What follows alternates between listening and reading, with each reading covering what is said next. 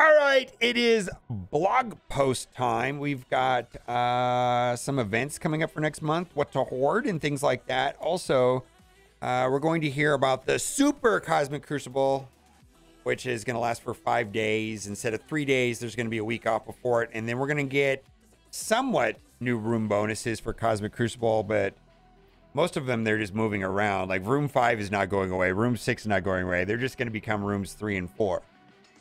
Brilliant! Brilliant! We're also going to have a special message from Reminex, who does things so that we don't have to. Greetings, Commander. I, the wording on this is a little off, in my opinion. I, I don't. I feel like there's some. Maybe it's just me. Like this FOMO. Like you must do this. Like it says right here. Uh, Crucible's never been more important. With Quicksilver Shard on the line, you'll need each of the top Crucible teams to have a shot at his shards. Yeah, like you buy all the teams because we've predetermined the rooms, you know, whatever, right? Gwen, Firestar and Gwenpool are keystone members of this must-have team as they have specific abilities that counter the top Crucible teams and stage rules, especially in Room 5. And uh, those Room 5 bonuses are not going away. Uh, they're being moved to a different room, which we're going to, you'll see here on the next seasons, right? Firestar and Gwenpool each give new war allies 50% accuracy, which bypasses Spider Weaver's accuracy mechanic and her passive ability when charged. On enemy turn, Firestar act, attacks the enemy with the highest speed, which means you can pick off characters like Spider Man 2099. How does Firestar gain charged? Gwenpool. But Gwenpool's power extends further. Her abilities allow her to attack stealth characters and flip stealth on enemies, and no one can hide from the new warriors with Gwenpool in the battle. You don't want to fall behind in Cosmic Crucible standing, so make sure you recruit Gwenpool when she becomes available for purchase. I don't know, man. Maybe it's just me. Maybe it's not a big deal. The release on May 10th. All right, so Solar Flare. So she's going to be the month long character, and it's going to be a bunch of events, like a ton. And they list out the schedule uh, something, this is actually positive. It's not all just salt here at Mobile Gamer, right? So we have some good things right here. Uh, there's going to be some fully uh, crafted Gear Tier 7 PCs for grabs. Enough character shards for a three star. Um, they're talking about that they got the Gear Tier 17 covered for Firestar. Okay. Extract these high value items in the, each of the missions. And then right here, this is kind of even a little bit further. Even there are even more Firestar shards available in other events this month. Be sure to check the weekly bog event so you can aim for a four star unlock. Like, I feel like that's relatively good. Uh, they're also having more leaderboard events uh, and, you know, for the month long thing. And looks like the T2 level 5 ions is now, well, it has been for a little bit. You can get them as low as 10%. You know, it's it's getting better, but still not great. Now, feel the burn. Uh, this is going to be an event. We talked about this yesterday. Uh, there actually was a um, there actually was a data mine suggesting this, but the main thing to know is to save. Uh, it says be sure to crack open your training orb. So there's going to be an an orb opening component of this event. Uh, let's take a let's let's go to a a quick clip here from Reminex uh, you know, which his typically his motto is that, that he does things so that you don't have to, right? And so, um, I'm. This is just oh my god.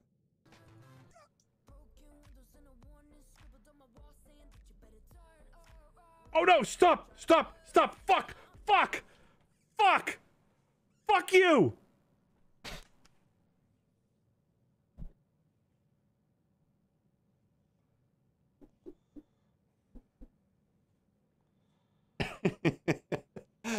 My god.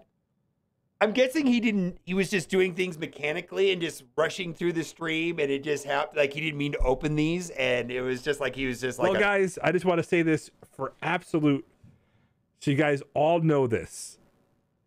The devil is in the details. Oof, oof, oof, oof, oof. Let's keep going with the blog post. My goodness, I just had to share that.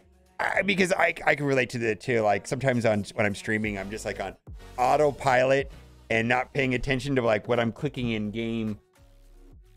All right. Uh, Blazing Battles in Webstar. There's going to be a uh, Battling and Blitz event. Uh, Nowhere to Run, which is a quick rumble. Union Jack will be going into Orbs. Kitty Pryde is getting removed from the Mega Orbs. And then Bucky is being going to Elite Store. And then we're also going to be get Dormammu 7 Red Star, which is going to be a dark promotion credits. There is going to be an aver- uh, the Invader Incursion event, and there's going to be different parts uh, that you're going to be able to get to. Some parts you'll be able to get through it uh, if you have the team complete at gear tier 15, and other parts of the event are going to be at five yellow stars. So, if you took the time to spend money and get this entire uh, team at five yellow stars, look at how they frame that. The dangers are high, the enemies are determined, both the challenges and the bonus difficulties. So, Strike is opening up the resource cache for rewards.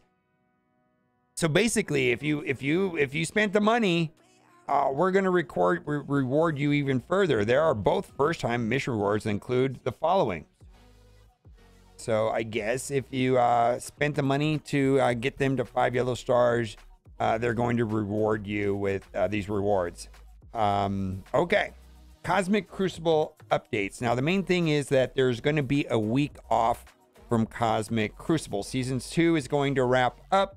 There's going to be a break, and then we're going to have the Ultimate 32. And so the Ultimate 32 is going to be like a 32 person bracket, and then it'll be for five days. Now, something that um, that I forgot about and that I want to talk about is that they make it sound like the usual new season tribunal score reduction. Basically, they reset some of the scores and the exact details of that. But what that means to you is you're going to be getting less Quicksilver shards, basically, is what that boils down to. So um, I actually kind of like uh, the Ultimate 32 uh, rewards, uh, uh Ultimate 32, not rewards, but Ultimate 32 uh, room bonuses. Kind of interesting.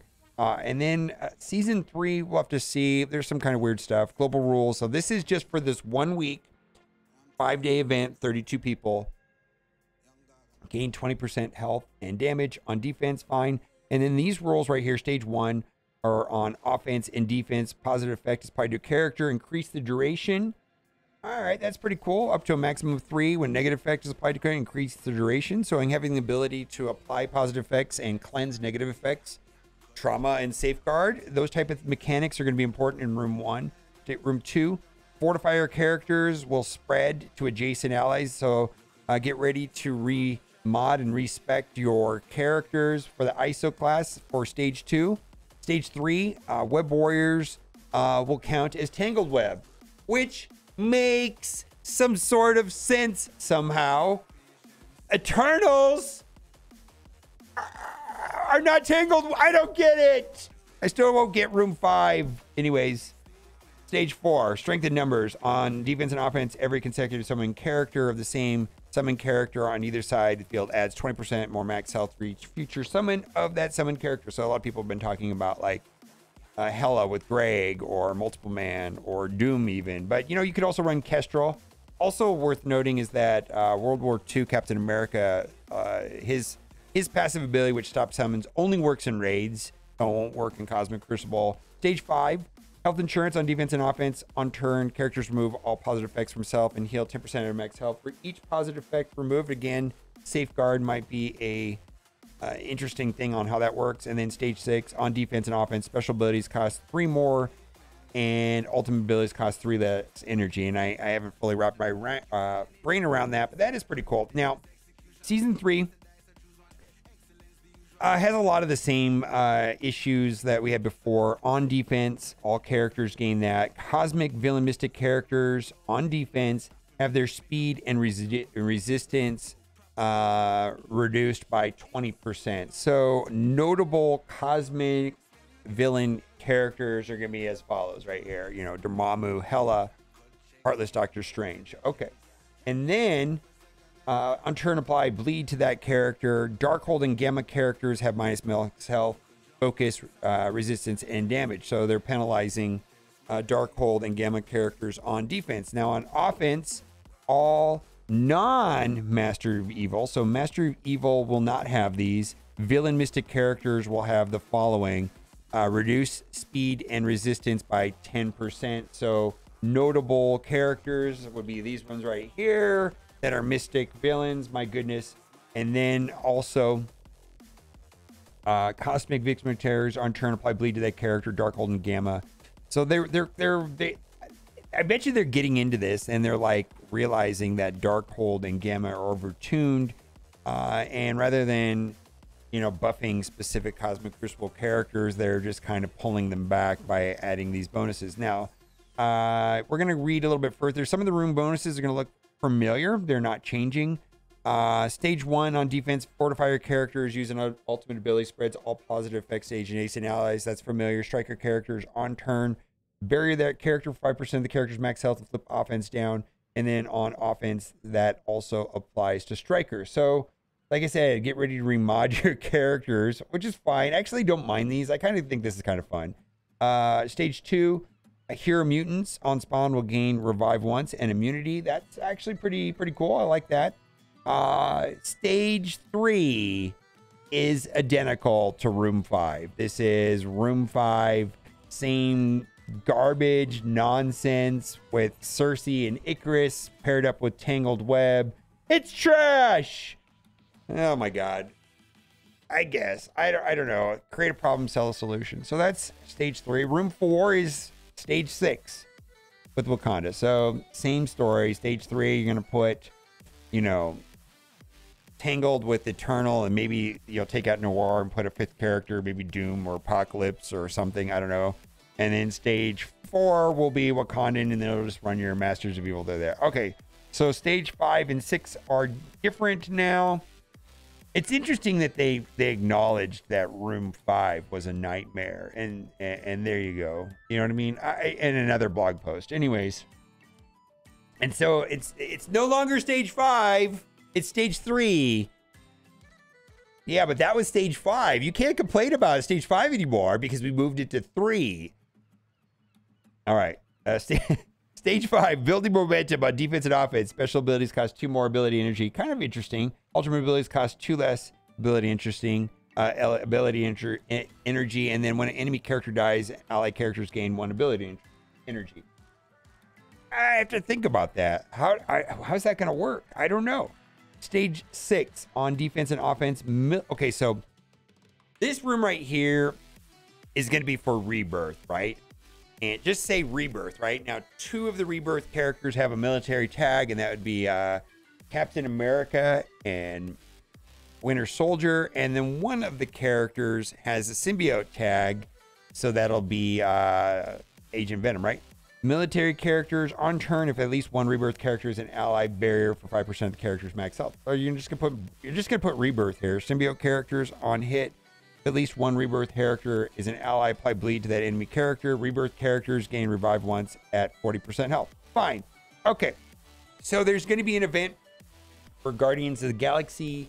And looks like Cosmo is gonna be an NPC. Yesterday, I, I, I actually was thinking that Cosmo is going to be a playable character uh, based on the dev interview where uh, they mentioned that